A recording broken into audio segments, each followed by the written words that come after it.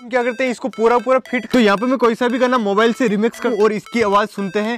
So hey guys welcome back to my YouTube channel तो guys आज हमारे पास एक होम थिएटर और यहाँ पे दो स्पीकर है इसके। और ये होम थिएटर का जो मेन जिसके अंदर बेस आती है, वो है हमारे पास पूरा का पूरा ये है। तो सबसे पहले तो इसको चला के देखते हैं, क्योंकि इसके बाद इसका क्या होने वाला है, वो तो आपको पता चल ही जाएगा। तो भाई, पहले प्ले करते हैं इसको। और इसकी आवाज़ कैसी है, पहले ये देख लेते हैं। तो यहाँ पे इसको प्ले कर रहा हूँ मैं।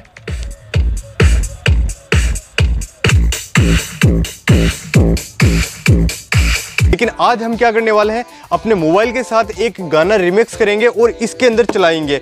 और आपको ये भी बताने वाला हूँ कि ये जो होम थिएटर है, इसके अंदर ऐसा क्या आता है? जिसकी वजह से इसके अंदर यहाँ से तो हवा निकलती है और यहाँ से बेस आती है। यानी कि ये जो पूरा पूरा है इसको हम खोल लेंगे और पूरा पूरा चेक करेंगे कि इसके अंदर क्या है और इसके बाद इसका जो स्पीकर है इसको बाहर निकालेंगे। इस स्पीकर को बाहर निकालने के बाद इसकी आवाज़ को टेस्ट करने वाले हैं। तो, तो चलिए वीडियो स्टार्ट करते हैं लेकिन आप क्या करते हो पता है? आप वीडियो देख लेते हो लेकिन लाइक नहीं करते हो। तो भाई नीचे जो लाइक का बटन है उसको ज़रूर दबा दीजिए। तो गाइज़ अब हम इसको ओपन करते हैं और इसको पूरा पूरा खोल के देखते हैं कि इसके अंदर से ऐसा क्या निकलता है जिसकी वजह से हवा निकलती है और बेस आती है और ये सारा का सारा आज आपको देखने को मिलने वाला है। तो सबसे पहले तो हमारे औज़ार यहाँ पे तैयार हो चुके हैं। तो पहले हम क्या करेंगे, इसकी जो स्पीकर वाली जो साइड है, इसको हम खोलने वाले हैं। इसकी जो जाली है, इसको यहाँ पे निकालने वाले हैं। तो इसकी जाली को हमने यहाँ पे ऐसे निकाल दिया है और यहाँ पे देख सकते हो, इसकी पूरी की पूरी जाली को हमने ऐसे निकाल दी है। तो जाली को हमने यहाँ पे एकदम से निकाल दिया है और यहाँ पे देख सकते हो, हमारा जो स्पीकर है, वो यहाँ पे ऐसे कैसे यहाँ पे और यही है जिसकी वजह से बेस आती है। और अब हम क्या करने वाले हैं? इसको खोलने वाले हैं। इसके लिए हमको इस छोटू की ज़रूरत पड़ेगी तो इससे हम खोलते हैं।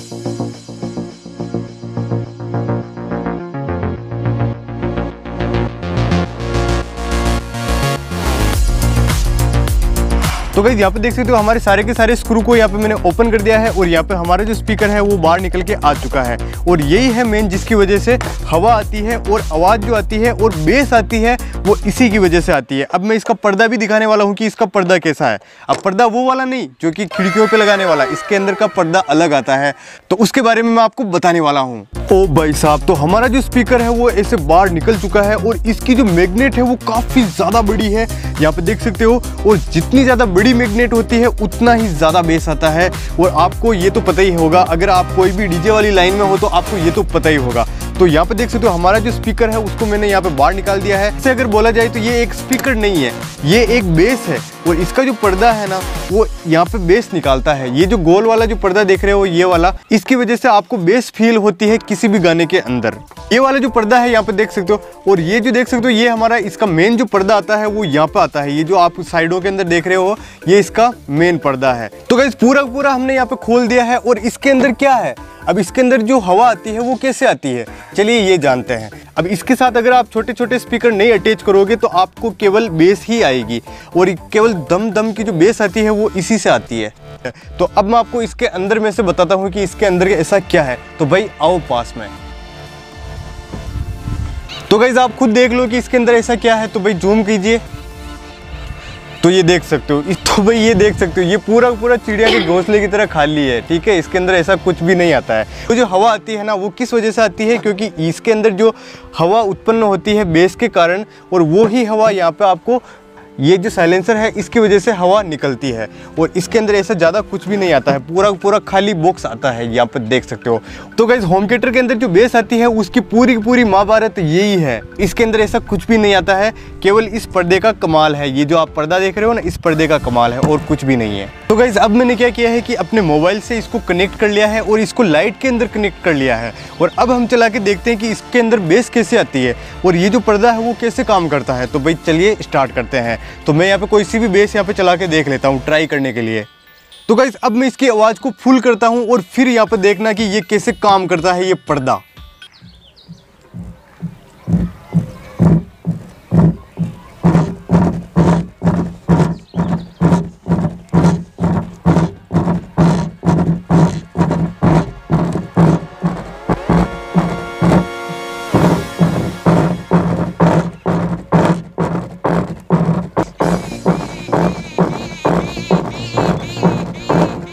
ओ भाई साहब, ये जो है वो पूरा का पूरा वाइब्रेट हो रहा है गाइस और गाइज़ मैंने इसको बाहर निकाल दिया है तो इसकी हवा पूरे के पूरे वातावरण के अंदर फैल रही है। इसको अगर मैं इसके अंदर अटैच कर दूँगा तो इसकी जो हवा है, वो पूरी पूरी इस साइलेंसर के अंदर से निकलेगी।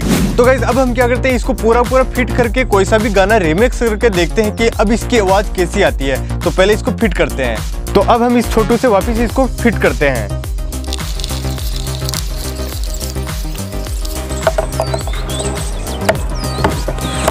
तो यहाँ पर मैं कोई सा भी गाना मोबाइल से रिमिक्स करता हूँ और इसकी आवाज़ सुनते हैं, केवल बेस बेस सुनेंगे और आवाज़ नहीं सुनेंगे। और गाइज़ अब हम इसका केवल टेस्ट करने वाले हैं कि अब इसकी आवाज़ कैसी आती है, क्योंकि मैंने इसको पूरा पूरा फिट कर दिया है और यहाँ पर मैं कोई सा भी गाना चला के देखता हूँ। तो भाई, चलिए स्टार्ट करते हैं। तो गाइज़ अब मैं प्ले करता हूँ और आप ध्यान से सुनिएगा।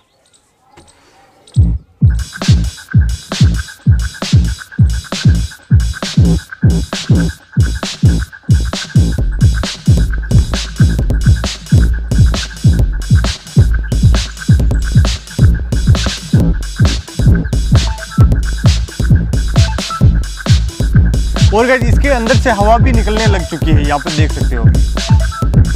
यहाँ पर हवा भी आने लग चुकी है। तो ये वाली वीडियो आपको कैसी लगी, मेरे को कमेंट करके ज़रूर बताइए। और आगे भी अगर ऐसी वीडियो देखना चाहते हो तो हमारे यूट्यूब चैनल को सब्सक्राइब ज़रूर कर लीजिए। तो इस वाली वीडियो में से इतना ही, और मिलते हैं एक नई वीडियो के अंदर, एक शानदार वीडियो के अंदर। तब तक के लिए टाटा, बाय बाय। आपका ख्याल ज़रूर रखिएगा। अरे रुको रुको, ये दो वीडियो आ रही, इनको ज़रूर देख लेना। आपके लिए इसके अंदर काफ़ी इंफॉर्मेशन है, आप जाके ज़रूर देखिए।